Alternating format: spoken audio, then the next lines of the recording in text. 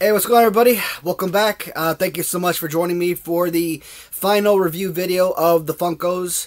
Uh, so far in video one, we took a look at the horror-themed Motu figures, which were followed by the superheroes versus villains. Today, uh, outside of the horror action figures, I think these are probably the one figures, or one group of figures, that I'm looking forward to looking at more in depth. So just like uh, the last video, outside the horror figures, I don't have any of these other figures loose. They're only carded. But there's only six figures total, so it's going to be a really easy review overall. Um, so, uh, we're going to look at the Mortal Kombat Motu type figures from Funko. And uh, it's just simply Mortal Kombat X, so it doesn't really give you, you know, Savage World like you got from Horror, or the Primal Age figures from DC Universe. we are going to look at the figures as they show up on the card. Uh, with first one, it is Raiden. Now here's the thing. When did uh, Mortal Kombat, the, like the original Sega Genesis game, uh, I think came out in 92 or 93. Uh, this was, you know, the Mortal Kombat Sega Genesis game was one of the first video games that we got uh, for that system. Now I'm pretty sure Mortal Kombat was already in arcades and everything. Do I remember playing it in arcades? Not really. I think realistically, the only video games that I can say without a shadow of doubt that I played were like if you go to like Pizza Hut and they got the Simpsons arcade game, or they had the Ninja Turtles arcade game, or they had the WrestleFest, you know, wrestling game, uh, WF wrestling game, which was awesome. So those three actually I want the real live stand up arcade game uh, with all the buttons and joysticks to boot. I want those three games more than anything. Now, those systems are probably cost like $3,000 a piece or some crazy numbers. So, I mean, realistically, from affordability standpoints, no, I, I wouldn't go there for those. But, and the space that they would take up and the energy and what it would do the electric bill. But still, um, if I ever had the funds available, those are like dream acquisitions. And I don't know, maybe, yeah, you know what? I take it back. Uh, I do remember Mortal Kombat being at the Pizza Hut as well. Yeah, in Chicago, we, I mean, we had arcades around, right? But, like, I, just like I didn't grow up reading comic books, as a kid, I, I didn't spend a lot of time in the arcades either, so. Uh, Raiden, obviously, no matter what video game you're looking at, Raiden's going to be all over it. You know, Lord Raiden, you know, the, the Thunder God. A lot of these characters, when you watch the Mortal Kombat movies, when you watch all of the different Mortal Kombat TV series, there was a, a really great one in uh, the late 90s. I think Kristanna, uh, Kristanna Loken uh, was in that series as well. And it was really different because you're so used to seeing Liu Kang. You're so used to seeing Johnny Cage and Sonya Blade. And none of those characters existed, not at this time. This time, you know, Kung Lao was your ma major superhero. So, but you get you get Shao Kahn, you get Shang Tsung, okay? Kung Lao, obviously, uh, uh, descendant of or ascendant of Liu Kang, so I love those shows because I love hear, you know seeing the back history. And if you remember getting the actual uh, video games back for Sega Genesis, they actually had a little booklet that kind of gave you a little history of the figures. I would actually love to pick up that Sega Genesis game just for nostalgia reasons. But I, I see them on eBay. They go for 30 plus dollars, up to $50. I'm like, it's Sega Genesis. Come on. I mean, today's modern PlayStation 5 games probably don't sell for that much. when it comes to your Masters of the Universe, you know, type of figures, I think that Mortal Kombat is absolutely perfect a resemblance uh, for these figures. So, I, I, don't really think that the DC universe meshed in too well. The horror, they really tried their best. Look great, love those figures, but you don't have to use a lot of imagination. So I think these, you know, these are Mortal Kombat characters after all, right? So their whole point is for fighting. Uh, next up is Katana. And guys, you know how much uh, this bothers me. I will say it every single time I look at a female wrestling action figure or a female. I mean, this ain't even wrestling. This is, you know, video game type, right?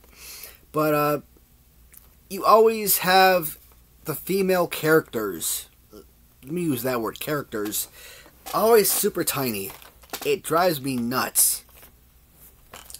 Why can't you make Katana the same size as like every other male character, right?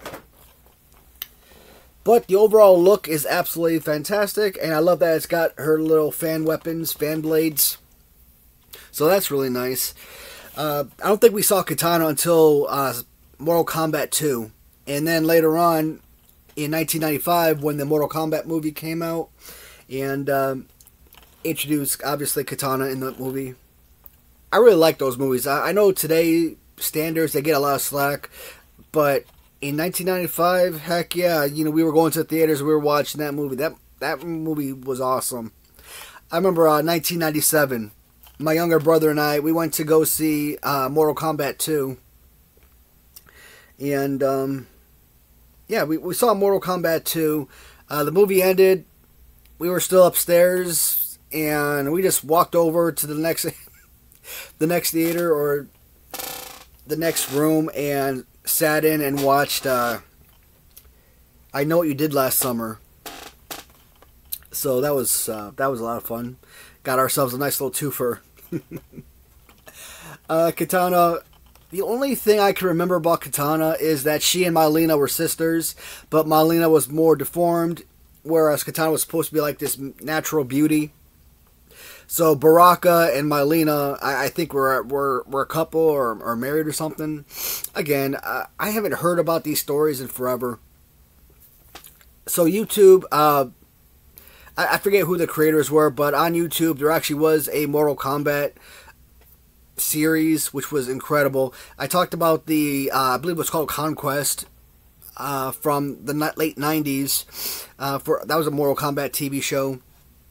So it gives you a lot more in-depth history of the characters outside of just the video games or the movies. But even today, I mean, with your Xbox gaming systems and your PlayStation gaming systems, um, they do a lot of uh, like in what do they call them?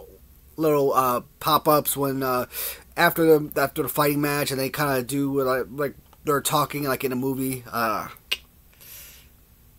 I don't know what the heck that's even called. It, just goes to show you I don't play a lot of video games. It's 2024. I'm still playing MLB 2004 from the original PlayStation. Okay, so that just goes to show how in depth I am at playing video games.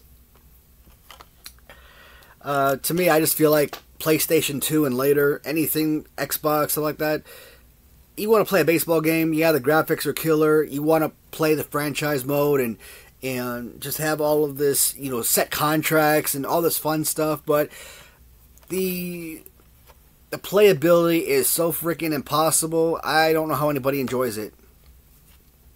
My wife in uh, 2005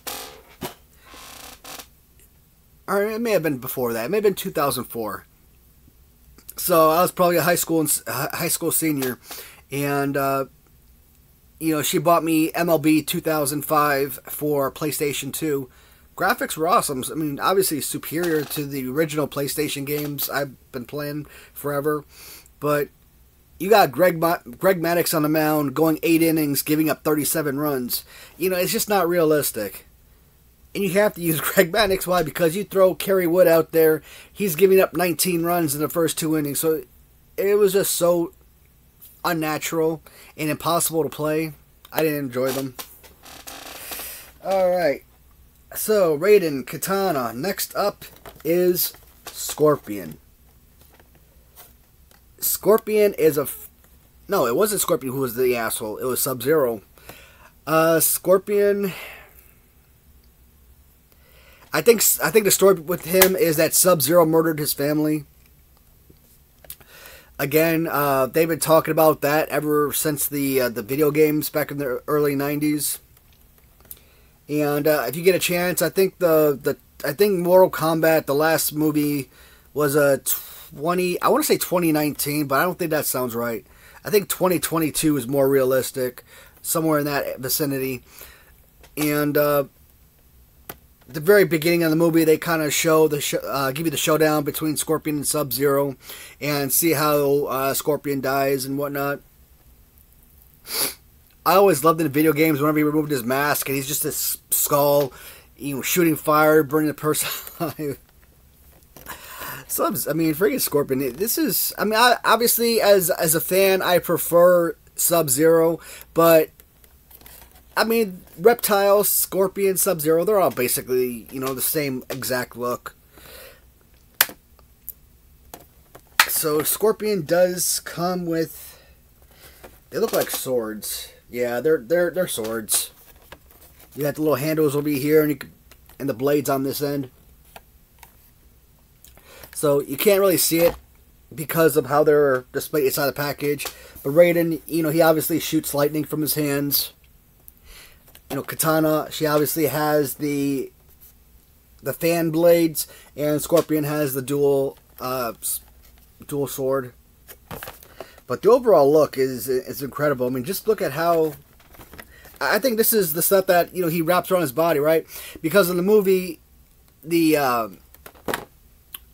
the arrow part actually shoots right out of his hand. Where in like the TV shows or the last movie, he uses it as like a whip right now, and he's got the little arrow at the end. So uh, there are a lot of graphics about this particular figure that really make it a very impressive piece. So that is Scorpion number one. And I say number one because yes, Scorpion does get a variant. And I am very pleased to be able to own both. In in terms of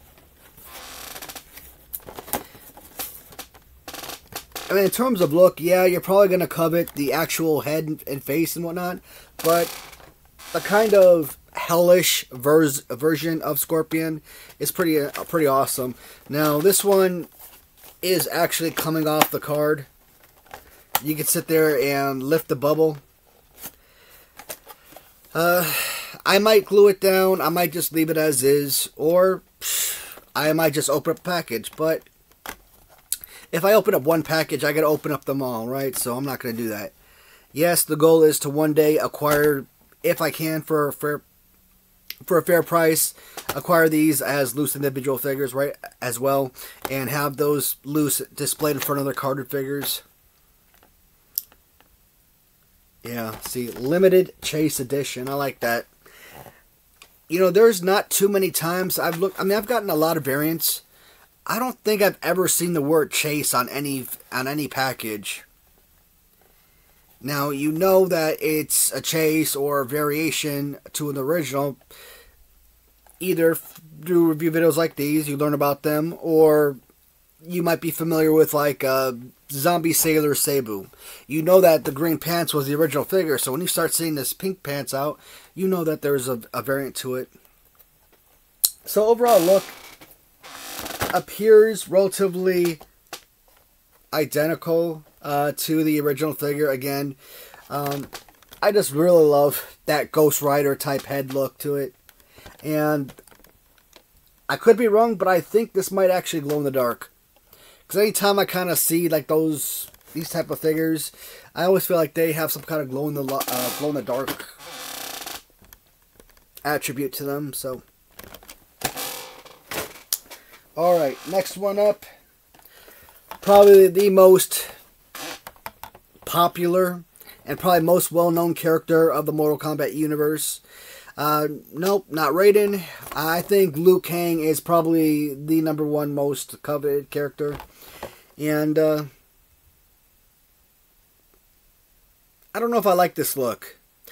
I guess because I'm I'm kind of used to seeing him like uh, LJN Ricky Steamboat with the black pants and you know no shirt whatnot or uh, he'll have like a little red headband or whatnot so seeing him clothed like this it's obviously not what i grew up you know, playing the Sega Genesis or uh, yeah, I think Sega Genesis really was the last of it. I know we had the first and second game. I don't know how many more they came out with I mean, over the years, and Xbox and, and PlayStation, but those were all the, the same game, right? They just put different different systems for that respective game. Cutscenes. I couldn't remember what the stupid thing was called earlier. I just out of nowhere, cutscenes.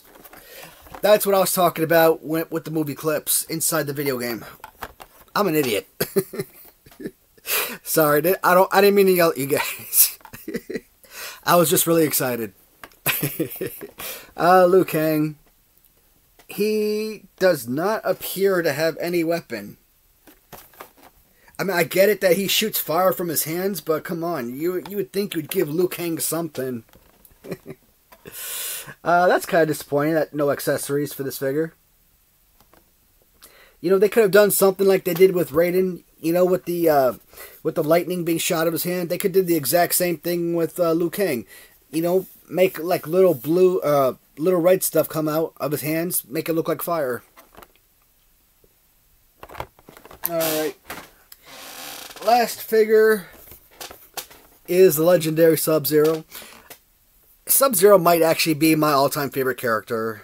I mean, I, over the years, I would probably always say Liu Kang, followed by Johnny Cage, but I, I think that Sub Zero is just simply the most enjoyable character.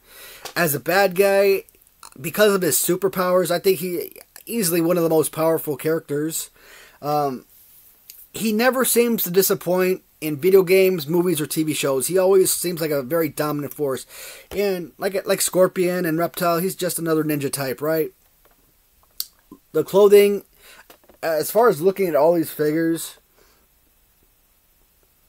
I mean Scorpion and Sub Zero, they're probably the most closely resembling their video game play. Sub Zero even more so, and you know he's got this little ice sword and. Uh, I don't know, a sledgehammer or something, but little ice hammer over here. And that's what he looks like when he's loose. Uh, this is a fantastic figure. I mean, even the face mask, very Banish. the overall look, uh, with like I said, with the with the Bane face mask, with the Shogun armor and everything, I don't know if those are.